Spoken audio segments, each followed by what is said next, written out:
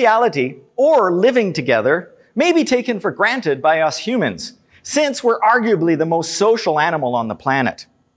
And living together is the standard for most higher animals like birds and mammals.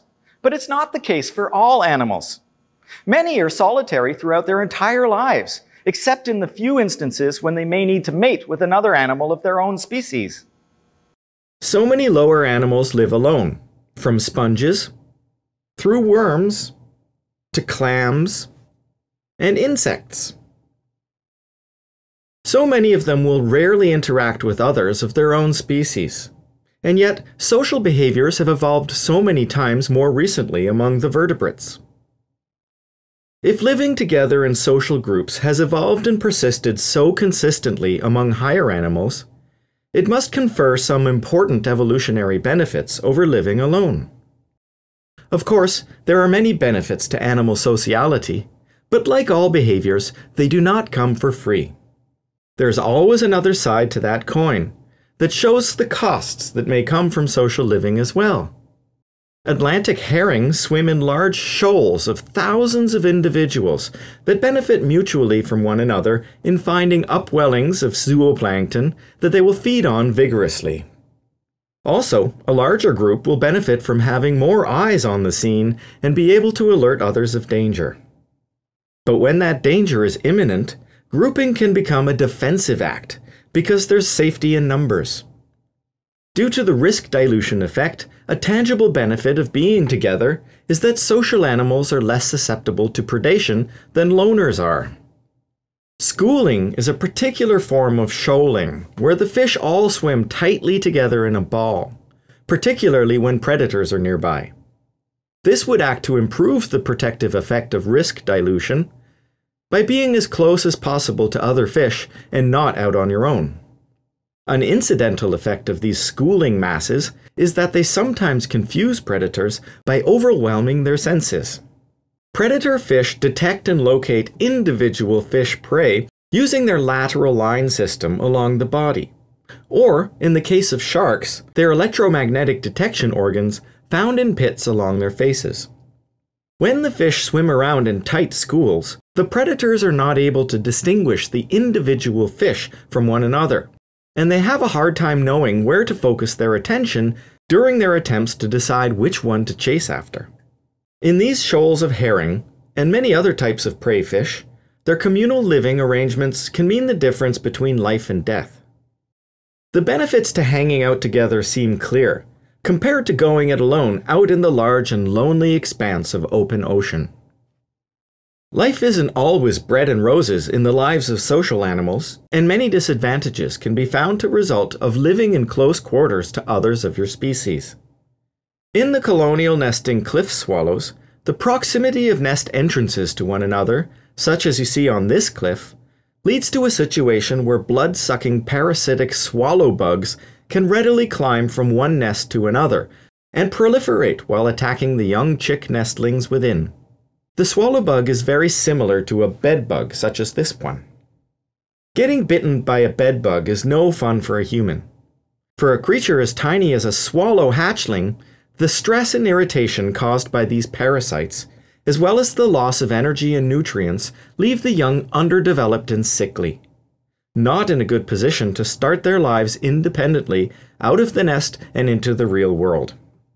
As a result, swallows that were plagued by parasites as nestlings do not survive as well, and the consequences of living in those high density habitations in their youth has shown to have negative consequences later on in life.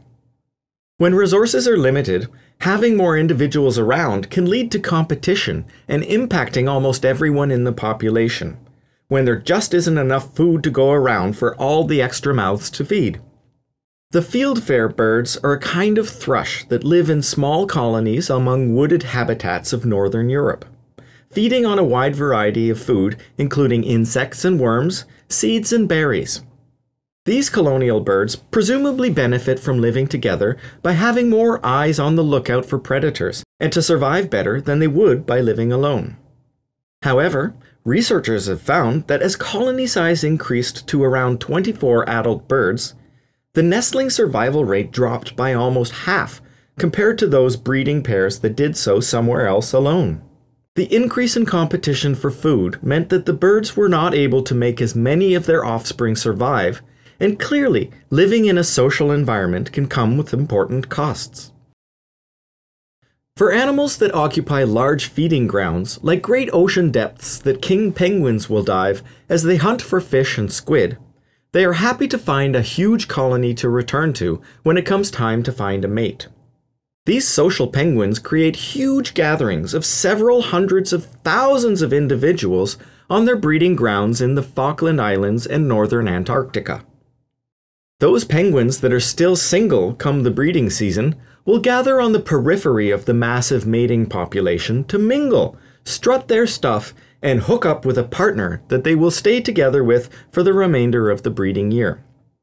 These large mating markets allow for pairings of king penguins of all sizes and preferences that would have a hard time dating if it weren't for these social gatherings, and they help to contribute to the evolution of such social behaviors. Some animals live together because they benefit from a mutual infrastructure and societal kickbacks that come from being part of their group. This is particularly true for social animals that live in colonial hives or nests that bring about many advantages that only coordinated group efforts can bring about. Social insects, like ants and wasps, live in elaborate nests with many specialized chambers and layers that were only made possible through the collective effort of hundreds of worker individuals. Likewise, naked mole rats live in extended networks of underground tunnels and chambers that lead to important rhizome and tuber food resources. No single naked mole rat could excavate such a structure on their own, and its creation is an emergent property of the committed effort of their society's working class. Australian termites build mounds that house thousands of individuals and provide them with protection, as well as solar heating and air conditioning. The mounds are built in such a way as to only capture the early morning and late afternoon sun, and to maximize the flow of air currents throughout the day by crafting its architecture so as to provide the ideal environment within for these insects, despite the scorching temperatures on the outside. In any of these cases, an individual ant, naked mole rat, or termite could, in principle, decide to leave its social group and try to make a go of it on their own, but they would also be leaving behind all of the benefits of the combined efforts of their group, and they could never have the chance of rebuilding it on their own. In these cases, living in social groups is not only readily understood in terms of the benefits of being together, but also in the high costs of what it would take to try to make it out in the world alone instead. When animals live together and interact, all sorts of social behaviors are bound to evolve. One important product of social behavior is helping as it can have the effect of improving the fitness of both the helper and the helpee. Because maladaptive behaviors are weeded out by natural selection over time, we have to note that helping must be adaptive, even if it looks like it is costly to those that are making a sacrifice for the benefit of others. As we shall see, Helping behavior, or altruism, is rarely selfless, and there's always something of importance in it for those that are going out of their way to appear generous to the others. That payoff can be immediate and mutually beneficial to all individuals that perform the helping behavior, such is the case of pack hunting animals, like wolves or lions, that are capable of bringing down large prey, much to the immediate benefit of the whole pack who get to eat something that they wouldn't have been able to kill on their own. In other instances, there can be a delay between the helping act and its payoff reward. This is the concept behind the saying, I'll scratch your back if you scratch mine. Although the way it plays out in the real world is more like, okay, I'll scratch your back now, but when the time comes that I start to get an itchy back, I'm coming looking straight for you, pal, and you better come through for me. This form of reciprocal altruism involves having debts and repayments among the individuals in a social group, and it relies on well established relationships and long term memory to keep track of the social ledger. Vampire bats roost in colonies in caves during the day and emerge at night to feed on the blood of a mammal or bird somewhere. These small and warm blooded animals have a high metabolic rate and need to feed every night or risk dying of starvation. But it can be a challenging hunt for a sleeping mammal or bird that will remain still for long enough for the bat to make a small incision and drink a tummy full of blood.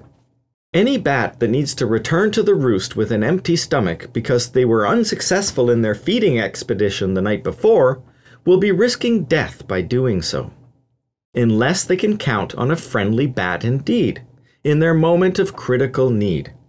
Impoverished and famished bats will solicit help from their roost mates and will often receive a small amount of regurgitated blood from one of their closer compatriots. This small gesture will not cost the donor much from their already satiated belly, but it means the world to the recipient of that much needed help, and they're not likely to forget about it. That's the point, you see. Because there may come a time when the friendly donor bat will be unlucky in their own feeding trips some evening in the future, and they know that they have someone they can count on and will call upon them to return the favor. These reciprocal favors are adaptive because they will improve the fitness of a helper if it buys them some insurance to get out of trouble when they need it in the future. Of course, this kind of honor system relies on trust, and on following through with your end of the bargain when you're called upon to do so. That's why cheaters are quickly shunned and may lose their privileges for receiving help in the future. Such is the case with tamarin monkeys, who remember whether another has been helpful or not, and will take this into account when it comes time to consider helping one of their colleagues or not. Researchers found that when lab raised tamarin monkeys are allowed to provide food for a neighbor tamarin by pulling a food lever that the other can't reach, that those individuals seemed pleased to return the favor when their positions were switched. However, if a monkey was in control of the food lever and the neighbor had previously been unhelpful, that first monkey would often decide not to pull the lever and release food to the selfish lab mate as a punishment for breaking the code of conduct, which is based on a mutual trust for following through on the contract. Some birds are known to delay their own reproduction, either by choice or by luck of the draw in the mating game. And instead of sitting things out, they'll work hard as secondary helpers at their parents' nest and contribute to the care of their younger siblings. This is the case for young male pied kingfishers that are entering their breeding age. If they're not successful in finding a mate, they'll in turn invest their time and effort into helping their parents raise the next brood of sibling chicks. This season of volunteer childcare does take its toll on the young kingfishers, but the advantages exist on more than one level. Firstly, their fatherly devotion to caring for young chicks does not go unnoticed by the young females in his population, and those non breeding helper males find themselves with a high market value when they go back to the dating scene the following year. However, the evolutionary forces may be more pervasive than just on the superficial level of impressing the ladies with his domestic abilities. The secret to this adaptive success lies at the genetic level, where the offspring he's helping out have a high coefficient of relatedness to him, and this degree of genetic similarity helps to drive these helping behaviors. Because closely related individuals will share more genes in common than they do with others, there can be selection to help those common genes find their way into the next generation, irrespective of which individual is the ultimate vessel for that process. In fact, if helping behaviors allow more closely related offspring to survive than would have without that help, it will benefit the helpers in an indirect genetic manner by ensuring that some proportion of genes inside of them will be present in the next generation via the successful reproduction of a close family member. In order to understand the genetic consequence of the non breeding kingfisher helping behavior, the inclusive fitness would be calculated as the sum of his indirect fitness from helping raise siblings, plus his own direct fitness of successfully reproducing the following year. By looking at the inclusive fitness of the helping behavior, we can see that the non breeding helping behavior is in fact more adaptive than sitting things out and waiting for the next year to try to mate again. The helping behavior of young male kingfishers may seem noble, But other animals will make a lifetime commitment to a celibate and faithful service for their reproducing relatives, in a seemingly paradoxical evolutionary quirk that defies the adaptive drive for personal reproduction. This is most common in social hymenoptera, the bees, ants, and wasps, wherein hundreds of workers will forego their own personal reproduction in favor of helping a few privileged sisters reproduce more successfully than they could have without the phenomenal and self sacrificing group effort from the rest of her hive siblings. The reason why these social Hymenoptera workers are so willing to sacrifice their own personal reproduction in favor of a few select siblings is because of this previously mentioned coefficient of relatedness or a measure of the genetic similarity between related individuals. These particular insects have a genetic sex determination system that is unique in the animal kingdom, where any fertilized eggs will always be female and unfertilized eggs will always be male. In this way, queens like this one, which the beekeeper has identified with a green dot, will lay fertilized eggs to build an army of female workers, and a few select princesses who will become next year's queens. The males are only produced at the end of the season and are rapidly kicked out of the nest for them to mate with princesses from other families. Having a worker force and the future royals made up entirely of sisters is key to this ultra altruistic behavior. Because of the way meiosis mixes paternal and maternal DNA when making the gametes, the haploid father of these daughters contributed a uniform genetic mix to them all. Only the mother queen bee would have some genetic variation among her eggs, so that the sister offspring are not identical, but 75% genetically similar to one another. This high degree or coefficient of relatedness means that the female worker bees, ants, and wasps have more genes in common with their sisters than they would have with their own offspring, which would be only 50% in common were they to reproduce themselves.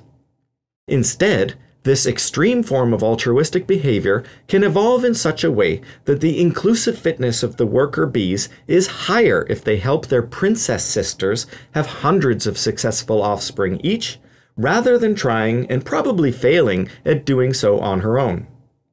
Because any worker behavior that improves the health and welfare of the overall family colony would be selected for over time, we see the development of specialized castes, within ant colonies in particular, where some sister workers become huge and armored soldiers.